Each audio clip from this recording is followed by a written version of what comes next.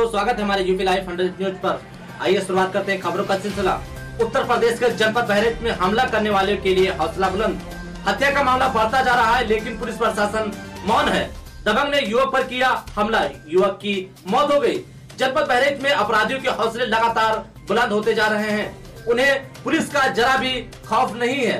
ताज़ा मामला जिला बहराइच के थाना रिसिया के अंतर्गत ग्राम खैरी दोगली का है, जहाँ पर कल देर रात एक 18 वर्ष युवक पर रास्ते में पेशाब करने को लेकर दबंगों ने लाठी डंडे और धारदार हथियार से हमला कर दिया, जिससे युवक गंभीर रूप से घायल हो गया। गंभीर हालत में युवक को अस्पताल ले जाया गया, जहाँ पर उपचार के दौरान उसकी मौत हो गई। मृतक के चाचा की तहरीर पर पुलिस ने पाँच लोगों को के खिलाफ हत्या का मुकदमा दर्ज करा दिया है, जिसमें से तीन अपराधियों को गिरफ़्तार कर लिया गया है।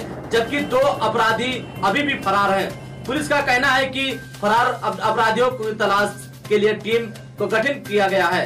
लाश को पोस्टमार्टम के लिए भेज दिया गया है। आगे कार्रवाई कर रहे हैं। खास रिपोर्ट सराजुद्दीन खान के साथ लखन खान की रिपोर्ट। क्या नाम है आपका? नरेश।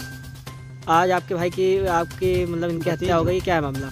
मामला ऐसे हुआ है कि जिसे जो मामला हुआ वो सब रफा दफ़ा हो गया सुलह हो गया फिर वो जो रात में गया ये पेशाब करने पेशाब करे गवा बस इका वहाँ आदमी पकड़ ली मुँह साध के वहीं मार डाली। कौन लोग मारे हैं?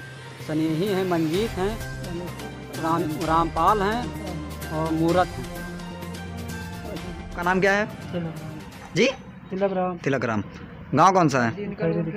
थाना? जिला? क्या हुआ है आपके सर पे? चोट लगी है? तो साहब वो लौंडा का जो पेशाब करने वो मार दे। कौन से लौंडे? जो क्या नाम है जो मरे हैं? सुरेंद्र। किन लोगों ने मारा है? रामपाल पंडित सनेश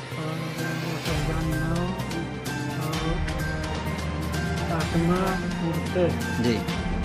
जो मारा गया तो कोई पुरानी रंजिश या दुश्मनी कुछ? कुछ नहीं। तो किस विवाद को लेकर के इतना बड़ा बवाल हुआ? काला वाला साहब यहाँ पे वो करा है जमानत। सुलानामा। हाँ चलो तो सुलानामा थाने पे जो एफ़ आई आर पड़ी थी किस बे, किस बात के लिए पड़ी थी यहाँ पे? कोई बात की नहीं करेगी जी। तो मैं तो वैसे ही एफ़ आई आर आ गई पुलिस थाने में। कुछ अच्छा दारू का मैटर तो था क्या? दारू का तो नहीं था।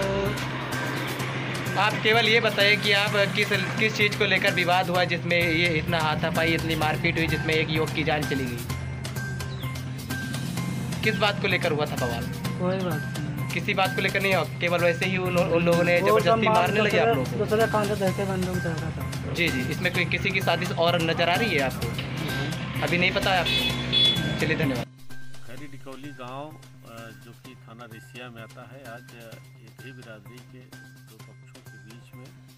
घर के सामने पेशाब करने को लेकर मारपीट हुई है। जिसमें एक लड़का